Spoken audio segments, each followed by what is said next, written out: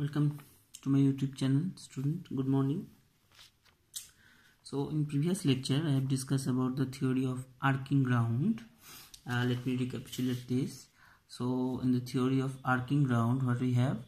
We have an ungrounded system where we have already already derived that the charging current will go three three times to the actual actual current. So uh, today we'll discuss about uh, how we can suppress it by provide the neutral ground. Okay? So here um, I have a three-phase system and uh, obviously this is, uh, this is those are the charging current. Say this is for phase um, so this is for phase R I R. This is for yellow I Y. And this is for blue phase. And uh, this is also not grounded right now. So if some fault occur what will happen? Uh, the phase voltage here the phase voltage of this phase this phase will become root 3 times. It will become root 3 times. So uh, to avoid this problem what you need to do? Will will provide a ground. Will provide will provide a ground. We provide a ground so uh, mainly there are three types though there is uh, also um, some classification. But mainly there are three types of grounding system. Number one is solid grounding. Number two is number two is resistance grounding.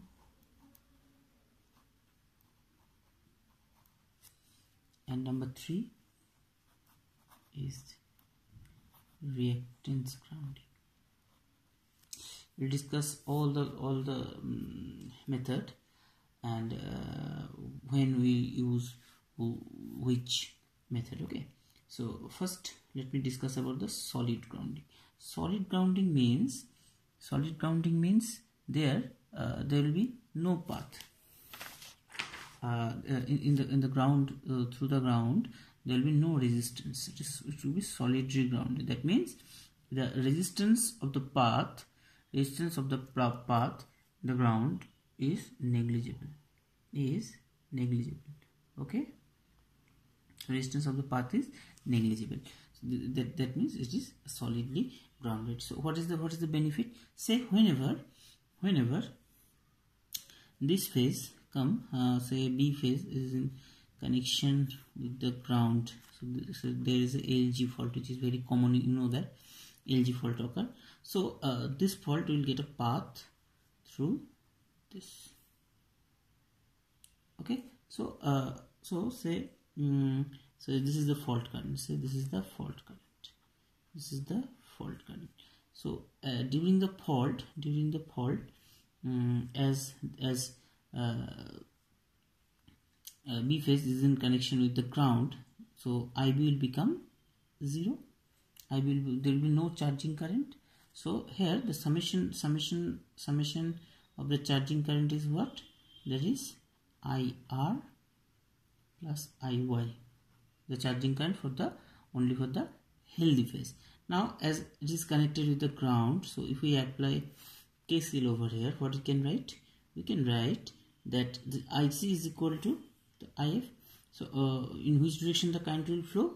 So uh, first of all here IR is flowing. Here charging current due to Y phase is flowing in that direction. So obviously uh, due, due to the fault due to the fault charging current will flow here uh, in phase B in opposite direction in opposite direction. So uh, basically basically what, what, happened actually uh, so uh, in, in, the previous case in the previous case in the previous case what happened?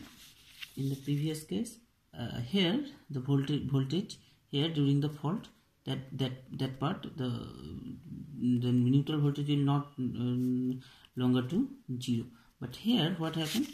As we have grounded it solidly so the neutral voltage will still it will remain 0 so as the neutral voltage will remain 0 so there is no chance of increasing the phase voltage. In the previous case the phase voltage was increased by root 3 times root 3 times and the charging current will increase to 3 times. But here there is no scope. Why? Because there is no change in no change in phase voltage. Why? Because here the potential will remain zero as it is solidly grounded. And here the potential uh, here what will happen? The potential is zero. So obviously obviously uh, uh, there is no chance of increasing the resistance so now uh, now let me let me draw the phasor diagram. Let me draw the phasor diagram. So uh, uh, first of all let me assume the system is obviously balanced system first case. So this is a this is the potential this is the potential so, say this is VR our uh, rate phase voltage. We take it as a reference. Then this is say this is our VB and this is our VY this is our VY I, I have I represent VB as dotted line because VB is 0 right now. So that's why. So uh, uh, what will be the charging current for these two phase? So obviously the charging current will lead. So this is this will be our IR charging current due to R phase and charging current due to Y phase will be charging current due to Y phase will be in that direction. So this is IUI so whenever we will uh, draw the vector summation vector summation we'll get we'll get IB so this is this is IB or this is the charging current. Rather we can write uh, charging current. So uh, the direction of the charging current or IB is in that direction. So obviously obviously the fault current is flowing in that direction so so we can we can represent we can represent the fault current in that direction. So this is our fault current. The fault current is fault, we always assume that the fault current is flowing in that direction. From the phasor diagram we have evaluated I, IB so obviously the fault current will be in 180 degree phase difference with the IB so this is the phasor diagram for a solidly grounded system.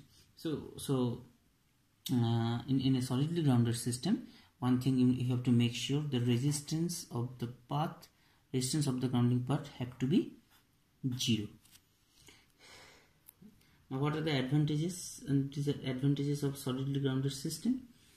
Uh, the advantages are uh, first of all first of all there is no chance of the increment of the phase voltage. There is a main. Now there is another disadvantage of solid solidly earthed system. The disadvantage of it is, it is that uh, due to the flow of high current uh, due to the uh, due to the flow of heavy heavy fault current uh, th this path may damage. Okay? Because it, it will allow a huge fault current. As the, the path as the um, fault current fault current will face zero resistance path so it will try to flow as much as possible. So this is the main problem we'll face in the solidly grounded system so what we'll do we'll replace this system by providing by providing a resistance. By providing a resistance. A resistance. The value of the resistance the value of the resistance will vary. The value of the resistance will vary mm, depending on the depending on the situation now uh, the resistance grounding we normally use where the charging current is small. Make a note okay? When when we use resistance resistance uh, grounding when? So let me make a note of it. Uh, so resistance grounding is normally used where the charging current is where the charging current is small so what is the purpose of this resistance? This resistance will limit the fault current. This resistance will limit the fault current. What is the disadvantage of this method? The disadvantage is uh, due to the high current due to the high current uh, heat will generate here. Due to the high current heat will generate here. So uh, it is it is also possible that um, this this path may burn. Now uh, another advantage is here it will limit the current. So obviously obviously i square r loss or the or the heat loss during the during the fault uh, can be reduced. Okay? And the last last we can we can use a inductance over there. You can use inductance over there. Okay the purpose is same just like current limiting reactor. The purpose purpose of use of inductor is same uh, as, as, resistance. Now uh, there is a point now there is a point now there is a point.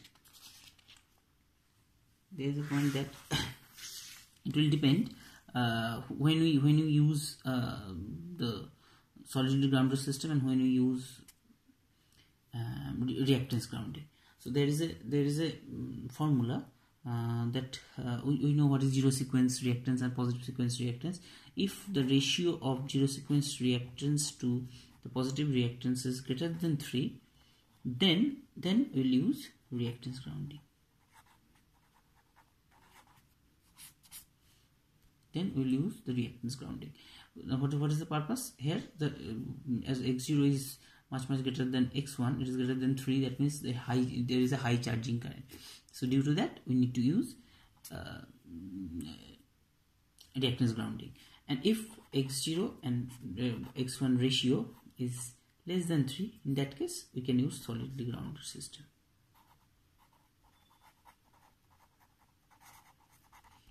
But uh, rather we use uh, here a variable reactance. That part I will cover in my next lecture. This is known as Petersen winding. So thank you student for watching my video